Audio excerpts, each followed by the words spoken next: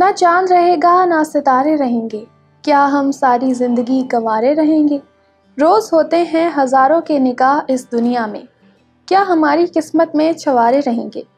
तो दोस्तों, आज की वीडियो में मैं आपको चंद ऐसे मशहूर पाकिस्तानियों के बारे में बताने वाली हूँ कि जिन्होंने ज़िंदगी भर शादी नहीं की और दुल्हा दुल्हन बनने की हसरत उनके दिल में दब कर ही रह गई। इलेक्शन बॉक्स की इस नई वीडियो में खुश आमदीद और मैं हूँ ध्रुव रजा इससे पहले कि वीडियो स्टार्ट करें। अगर पहली बार हमारे चैनल पर आए हैं तो इसे सब्सक्राइब करें और बेल आइकन दबाते हुए ऑल पर क्लिक कर दें, ताकि हमारी नई वीडियो सबसे पहले आप ही को मिल सकें।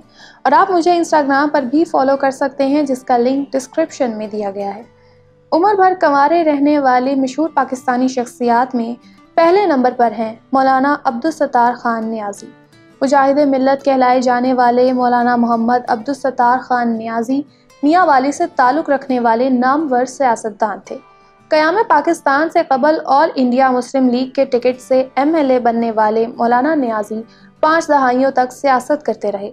कई मरतबा एम एन ए बनने वाले मौलाना न्याजी नवाज़ शरीफ के पहले दौरे हुकूमत में मजहबी अमूर के फेडरल मिनिस्टर भी रहे। सबक वफाकी वज़ीर एम एन ए और सेनेटर मौलाना अब्दुल सत्तार खान न्याजी के हवाले से कहा जाता है कि उन्होंने सारी ज़िंदगी शादी नहीं की।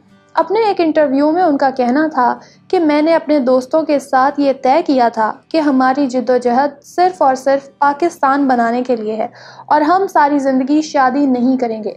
आज़ादी के बाद मौलाना न्याजी के साथियों ने तो शादियाँ कर लीं, लेकिन आखिर उम्र तक मौलाना अब्दुल सत्तार खान न्याजी कवारे ही रहे। वो मज़ाक मज़ाक में अक्सर कहा करते थे कि मेरी शादी उरूस आज़ादी के साथ हो चुकी है। दोस्तों, आपको याद होगा कि मौलाना अब्दुल सत्तार खान न्याजी की बायोग्राफी पर मैं एक डिटेल वीडियो बना चुकी हूँ। आप ये वीडियो हमारे चैनल पर देख सकते हैं। दूसरे नंबर पर है एम एम आलम। चंद सेकंड्स में दुश्मन भारत के पाँच हंटर लड़ाका तैयारों को राख का ढेर बनाने वाले पाक फिजाइया के शाही एम एम आलम की खिदमत को रहती दुनिया तक याद रखा जाएगा। अपने सीने पर दो मरतबा सितारा जुर्रत का मेडल सजाने वाले मोहम्मद महमूद आलम का नाम आज भी गिनीज वर्ल्ड बुक रिकॉर्ड में दर्ज है, जिसे आज तक कोई ना तोड़ सका। एम एम आलम भी सारी उम्र दुल्हा ना बन सके। शादी ना करने पर जब उनसे सवाल पूछा गया तो उनका कहना था कि मैं शादी के खिलाफ नहीं। एक मौके पर उनका कहना था कि I am married to the skies यानी मेरी शादी तो आसमानों से हो चुकी है।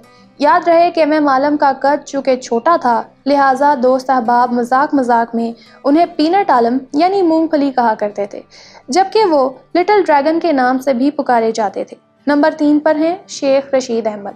अगर हमारे मुल्क में कवारे लोगों की अंजुमन NGO या कोई तंजीम बनाई जाए तो बिलाशुबा शेख रशीद अहमद ही उसके चेयरमैन होंगे।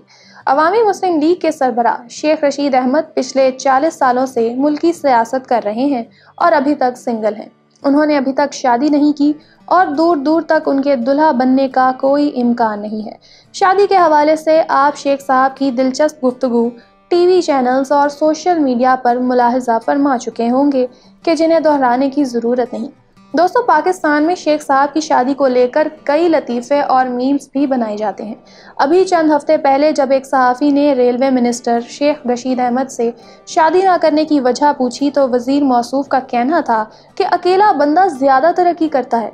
मेरे मुखालिफों ने दुकानों पर लिखवा दिया है कि शेख रशीद की शादी तक उधार बंद है। अकेला शख्स चाहे तो दुनिया फतह कर सकता है, जबकि शादीशुदा बंदा तो बीवी से रिमोट लेकर टीवी चैनल भी नहीं बदल सकता। नंबर चार पर है कुरैशपुर, पाकिस्तान टेलीविज़न के हर दिल अज़ीज़ कंपेयर, मारूफ नावल राइटर और कॉलम निगार। कुरैशपुर के नाम से भला कौन वाकिफ़ नहीं? सत्तर की दहाई में सरकारी नशरियाती इदारे पी टी वी पर प्रोग्राम कसौटी उनकी पहचान बना और उन्हें अवामी पजीराई मिली। कुरैशपुर ने पी टी वी से कसौटी के अलावा लफ्ज़ की तलाश, शीशे के घर जौक आगही यू एन क्विज़ के नामों से प्रोग्राम किए और ज़िया मोहुद्दीन के प्रोग्राम जो जाने वो जीते में बतौर माहिर शरीक होते रहे।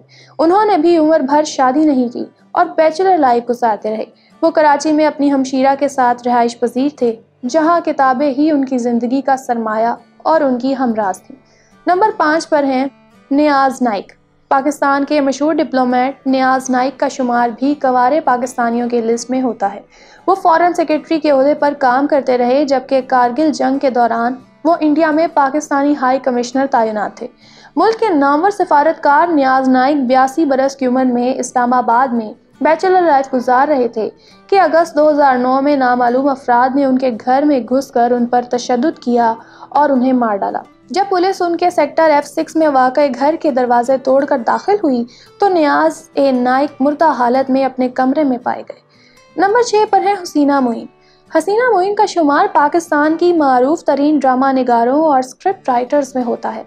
उनका नाम सुपर हिट ड्रामे की अलामत समझा जाता है। दिल की तारों को छेड़ती मोहब्बत, नाजुक एहसास की तर्जुमानी करते डायलॉग और जानदार तहरीर उनकी पहचान है। हसीना आपा स्टेज, रेडियो और टेलीविज़न के लिए मुतद ड्रामे लिख चुकी हैं।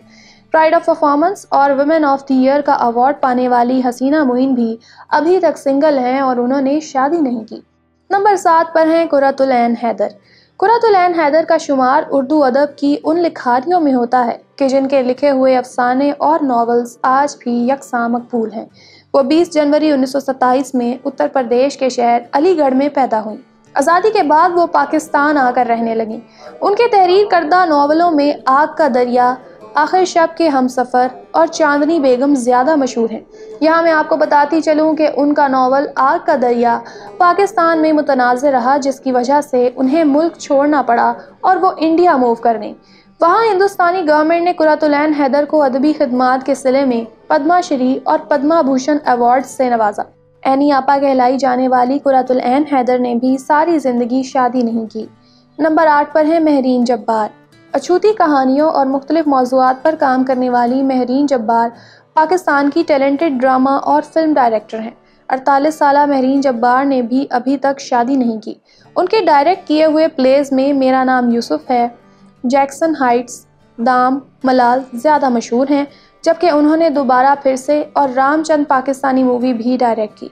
याद रहे कि महरीन जब्बार के वालिद जावेद जब्बार मशहूर हिदायतकार, राइटर, सहाफ़ी और सियासतदान थे, जो सेनेटर के अलावा फेडरल मिनिस्टर भी रहे।